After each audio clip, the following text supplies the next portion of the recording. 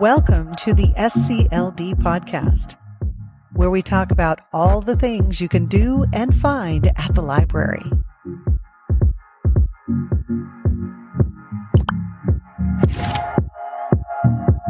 Hello, I'm Erin Dodge, Communication Specialist here at Spokane County Library District. Today I'm talking to Mike Ulrich, uh, Principal Transportation Planner at the Spokane Regional Transportation Council, and Wende Wilber, um, Project Manager at Kittelson Associates. And today we are discussing the Regional Safety Action Plan, uh, what it is, and how people in Spokane County can provide input and uh, welcome, Mike and Wende. Thank you for being here. Thanks for having us. Yeah, it's a pleasure. Okay, great. Um, what is SRTC? Uh, what does it do? Sure. What are you guys about? Yeah. So SRTC is, or Spokane Regional Transportation Council is the lead transportation planning agency for Spokane County. Okay. So we're a member agency, which means that each of the jurisdictions within Spokane County are members of our agency. Okay. And uh, SRTC uh, is a federal designation, so it's uh, large metropolitan areas all over the country have what they call metropolitan planning organizations, which SRTC is one. And so we serve that function to uh, be the lead, lead planning agency for uh, transportation. I was going to say transportation is kind of the key element yes. that brings all those folks together to one. Exactly. Council. Yeah, and we serve a lot of functions. Um, the primary function that obviously we're here to talk about today is the, our coordination role. So we are really a convener of all of those jurisdictions within Spokane County, and the idea is that we bring everybody together in, in a in a boardroom, literally, um, and and so our our board is made up of elected officials from those jurisdictions within Spokane County, and we coordinate on on uh, transportation planning. And so, um, really, we're a convener, we're a coordinator, um, and we're uh, we try to bring in the public into that conversation to. Right um, make the best plans we can for the transportation network in Spokane County. Great. And um, we're talking about today, we're going to focus on the Regional Safety Action Plan. Mm-hmm. So, what is that and, and what is its focus? Sure. So, uh, I should ba- I should back up to the beginning, maybe. Okay. uh, the the U.S. DOT, uh, the Department of Transportation, made uh, a program, created a program called uh, Safe Streets and Roads for All. Oh, nice. And that federal program was really intended to distribute money nationwide to jurisdictions to focus on safety planning okay. the tra- on the transportation network. And so they made all these grant this grant program available where jurisdictions could go to this grant program, apply for money to really uh, bolster their uh, safety planning uh, on, on, the transportation network. So uh, we did that. We applied for a federal grant and were awarded four hundred thousand dollars to develop this regional safety action plan. Oh, good.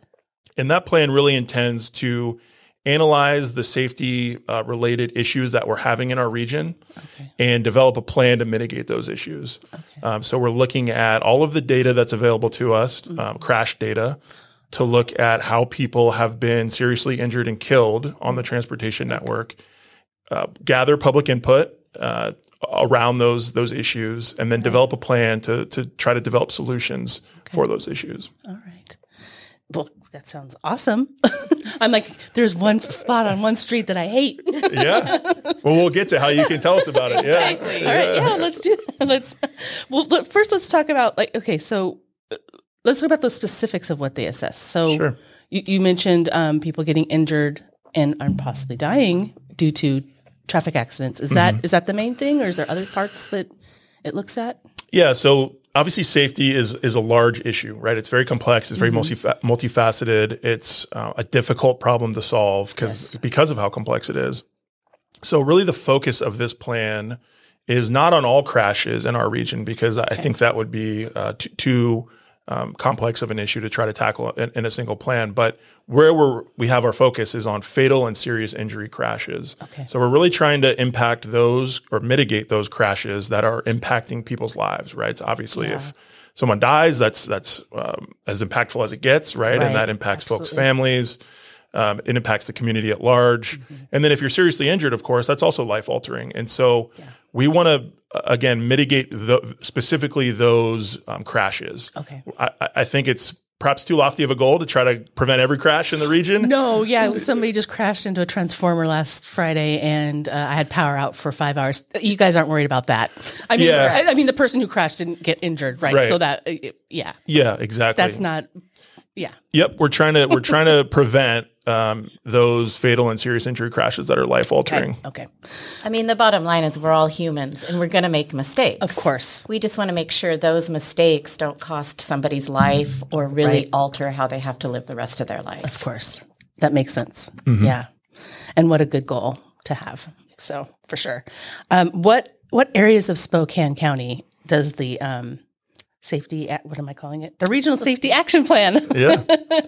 what is uh, what what what are being what areas are being assessed? Is it the whole county or is it certain parts? Wanna take that one? Yeah, it's it's the whole county. Okay. So we are looking at fatal and severe crashes within the whole county. Okay. And so what we'll do is we'll have a regional plan that looks at everything and then each member jurisdiction or agency. So every small town from Rockford to the city of Spokane Valley to the city of Spokane, Okay. Liberty Lake will get their own individual piece of this Okay. plan so that they can apply for future funding either through the federal state Safe Streets for All grant or state funding or there's also a lot of other grants that they can apply for.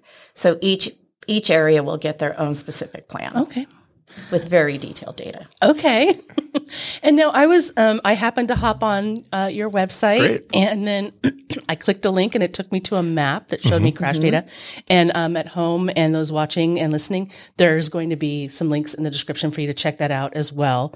Um, but I did want to kind of give a shout out for your website, um, www.srtc.org. And then to get to the original safety action plan forward slash RSAP forward Right. slash and then so then that link will be below um, but that's kind of the starting point and i know that you have some statistics up there talking about the different crashes and stuff Yeah. um, that happened um, what type of input are you seeking and, and how can people participate um, in giving you that input for for this plan Yeah. So Wende and her team have analyzed five years worth of that crash data that we talked that you talked about. Um, and so we have all of these points on the map that you described. And so folks can go to that website that you link or that you referenced and look at that map and, and understand where those crashes are happening. it's kind of overwhelming i have to say It is exactly. it's a lot of information and it kind of hits you when you think like oh each each dot is a life or a severe injury and it's just like Well, whoa and each think about it too is each dot is a life, but think about all the other lives that's touched. think about the emergency responders yes and what they're what they had to deal with, Right. And then friends and family and coworkers. Absolutely. and So there's a lot more a lot more impact than those dots. just yeah that's just yes exactly Yeah, and so t- to address your question, the the I think one of the limitations of the data is we have to rely on uh, for that data we have to rely on historical crashes, right? So Okay. where people were killed or seriously injured in the past. But just because there's not a dot on a map doesn't mean a particular uh, intersection or a particular particular road segment in someone's community isn't unsafe. Right. And so, if there is one of those instances in uh, one of your uh, listeners' uh, communities, we want to hear about it, and we want them to go to that map that you identified and tell us about it. Okay. And so, what they can do when they go to that website is there's a, an interactive mapping tool Okay. where they could take take their mouse and just click on an intersection in their neighborhood Oh. and say, um, I- think this intersection is unsafe for X, Y, or Z reason. Maybe there's not enough lighting, or maybe they experienced a, a near miss at that intersection uh, where they were almost hit, or maybe their kid was crossing the street and they're and, and they were almost hit. So uh, that's that's that kind of stuff isn't going to show up in the data, and those are the sorts of things that we want to hear about and why we made that mapping tool available. okay Do you have a green thumb? Are you new to gardening? No matter your skill level, every season is gardening season at the library. We have an extensive collection of gardening books and online resources that can plant the seeds for new ideas and help you cultivate your indoor and outdoor projects. We also have seed libraries. Our Take and Give seed libraries are currently accepting donations of vegetable, herb, and flower seeds. Bring your heirloom seeds into a library to share with other gardeners for spring planting. Learn more today at scld.org.